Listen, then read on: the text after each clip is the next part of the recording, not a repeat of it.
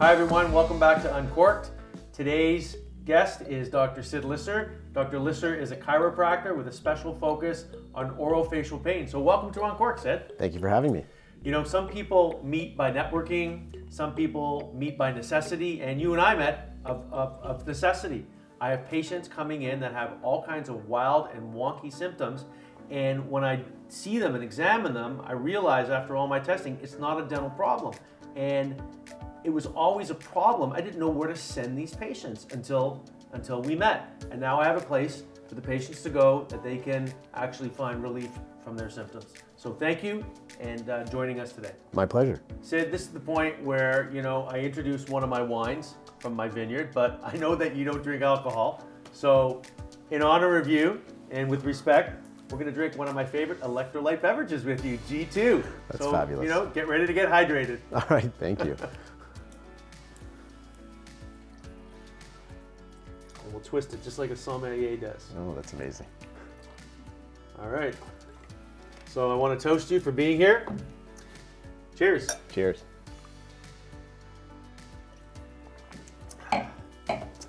Best G2 I've ever had. Yeah, very, very good. Okay, Sid, are you ready?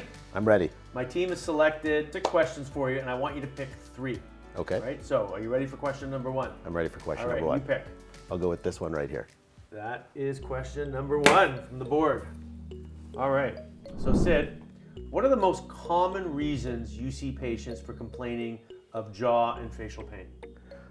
I mean, the most common thing that we, the most common reason patients come into our office is because pain and fear. Right? When patients come into our office, obviously they've been referred here because they have some ongoing issue or pain associated with their jaw and their mouth, eh, oftentimes their head.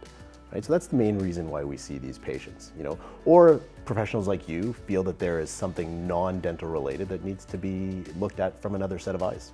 So, it's great to collaborate with other professionals. Absolutely. You know, that, that's one of the biggest part of what we do is making sure that we rule out one thing to include another thing.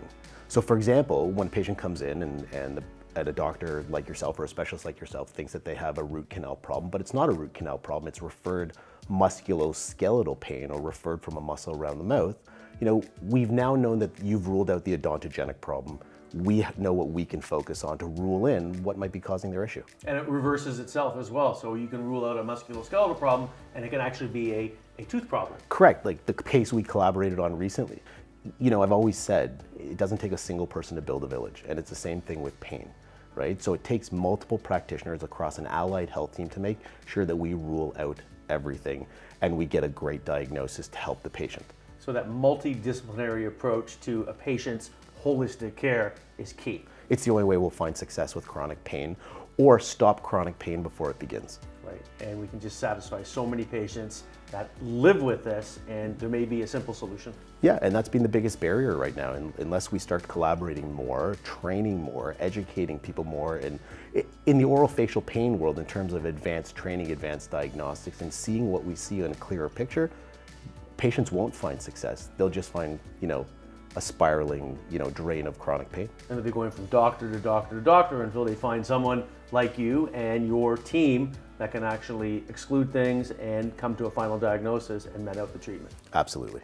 Fantastic. So, are you ready for question number two? Yep. It's like a game show, no? It's like a game show. Yeah. All right, you select. I'm going to choose that one right there. All right, question number two. You know, really, there's two different audiences, okay? There's me representing dental professionals, and there's the general public that may be watching. So, how can we be more proactive with prevention? You know, that's a big question. You know, I'm to unpack it a little bit. With with prevention from a from a dentist perspective or a medical doctor's perspective or a chiropractor's perspective, it starts with education.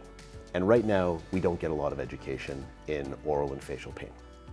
So what we need to do is start getting that education in, into the entry dental school levels and the entry chiropractic school levels to make sure that we all have the proper training in order to properly examine and diagnose oral facial pain because it is a beast all of its own. So dentists should have training in musculoskeletal problems, and chiropractors, physiotherapists should have training in dental problems. Absolutely, because if we don't know, if we don't know what we don't know, how are we going to properly diagnose patients? And then having that multidisciplinary approach to that patient, that holistic approach, they can obviously be better off and the patients can get a resolution to the pain that they're experiencing. Absolutely, because if, if we look at it from multidisciplinary approach, we can cover all the areas, like you said, dental, musculoskeletal, neurologic, and this way we can help patients get better. And I know you and I have had patients that have been going to dentist and dentist and then doctor and physiotherapist and they've seen multiple practitioners when if just the education was there and we can make that diagnosis either by exclusion and or exclusion, they'll be make, make a better and a faster uh, ability to get resolution of their symptoms. Absolutely, and that's where it kind of goes to the parent, right? How does the parent know what to do? Let's say their kid's jaw locks, or let's say their, their kid's starting to have pain chewing, or let's say they're having pain chewing or their jaw's locking. How do they know who to go to, right? Pre-screening or prevention is more important the last time they went to go see their dentist, did they do a musculoskeletal and dental hygiene check? The last time they saw their chiropractor, did the chiropractor take a look and say, hey, you're starting to show signs that something might be going wrong? How do we get to it before it happens? And that's my big passion is pre-screening, right? Setting a basis and an education for pre-screening patients for oral facial pain so that they don't get to the next level of pain. Amazing. All right, are you ready for the last and final question? Absolutely. I feel this is like a great game show okay. opportunity. Question number three. I'm going to choose this one right here. Good one. Okay. All right. Now, I have my backstory on how I ended up in, in endodontics. How did you find yourself in, in this special focus with TMJ and musculoskeletal problems? Uh, it, it's a very weird story. You know, I was fortunate enough that my aunt owned a lot of physiotherapy clinics in the United States. And so as I was growing up, I got some opportunity to get some advanced training in, in chronic pain. And this patient was referred to me early on in my career. Um, she had seen 57 doctors for her back and uh, she was not having success. So she was re referred to me and slowly but surely we were able to get her better just because that very originating therapy was not done properly. So we went back to the basics, you know, some of the stuff I had learned in practice and from these courses, and we were able to rehabilitate her. We call her patient zero um, because she's the very first oral, oral facial pain patient I had. So Subsequently, this, a doctor from Mount Sinai referred me back the same patient, asking me if I'd be willing to treat her jaw. Um, he's been somewhat of a mentor towards me, and to his credit, um, I said, I'm not, I don't know enough, and he committed to helping me learn more about oral and facial pain. And uh, here we are 20 years later, uh, close to 10,000 facial pain patients. We've taken tons of data and research from what we've done, and we're really trying to build a standardization of care because what we know is that we what we do works. And how many years has it been? Uh, it was 2002 when I saw my first facial pain patient. That's amazing. 10,000 patients later, and it, it's amazing even to this day. You know, the type of work that you do is really not known, not only by the general public, by, by dental professionals as well, who see these patients seeking our care. And it's amazing today we're here talking to you, creating the awareness that we need, not only for people like me, but also for the general public. And now they have an actual place to go to, to seek, you know, um, their, their resolution of their pain. And that's what's so great about the Jaw and Facial Pain Center. We really strongly believe that conservative rehabilitation based on best practices for muscles and joints associated with other parts of the body is really what's going to find success and our, our results tell the tale. That's amazing. So I thank you for creating this and having your team available uh, to help patients that, that are in need. I appreciate that. Thank you very much. Sid, before we sign off, I mean, this whole Uncork series is uh, related to my passion in wine, and uh, I know you don't drink, and we're having our G2.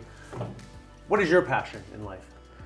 I mean, my real passion outside of my family is, is kite surfing. You know, this is what I do outside of my office um, to relax. Uh, but as I go forward in the twilight of career, my career, I'm really hoping to set a standardization for care and pre-screen patients, and make sure patients have a place to go to get safe and effective therapy for oral facial pain. So for those that are watching, if they have a similar problem or can relate to what we're discussing, where can they where can they get help? Is there a, a link that you have that you can direct them to? Thejawcenter.com. Thejawcenter.com. How easy is that? Very easy. Excellent. Well, I want to thank you for joining us on Uncork, and I wish you all the best with your clinic and with your patients and with your passion in life. Thank you again for having me. Thank you.